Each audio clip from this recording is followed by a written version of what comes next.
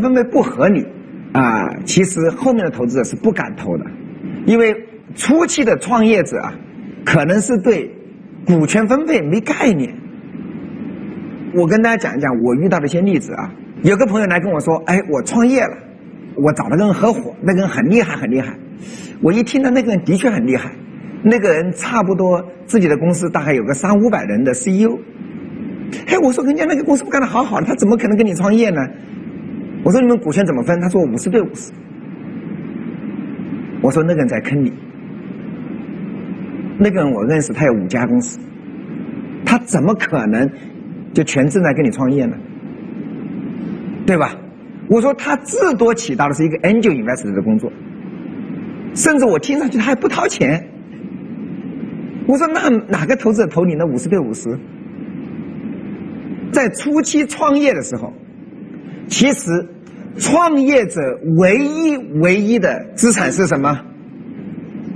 就是那百分之百的股份而已。当你刚刚开始创业的时候，那百分之百的股份其实是个梦想。创业的过程就是拿这个百分之百的梦想去跟钱谢去跟最优秀的工程师谢跟最好的 marketing 去谢跟最好的资源去谢对吗？是个拼图游戏。大家能理解什么是创业吗？创业就是拼图。我有一个百分之百的梦想。我愿意一上来跟 angel investor 拿百分之十五跟你分享，我愿意再拿百分之十跟最优秀的工程师去分享，我再拿百分之五跟一个最优秀的设计师去分享。其实创业就是一个分享百分之百梦想的一个过程。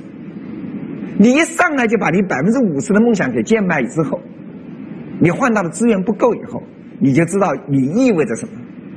很多很多的创业者在股权这个问题上，要不是极左，要不就极右。还有极左的例子呢，一个美国的博士很厉害，回国创业，遇到一个有一点社会资源的人吧，啊，他把那个社会资源的人写在他的 BP 商业计划书里面。我说你跟他什么条件？他说我们注册公司五十万人民币，他套了三十万人民币占百分之三十，我套了二十万人民币和几个创业者占百分之七十。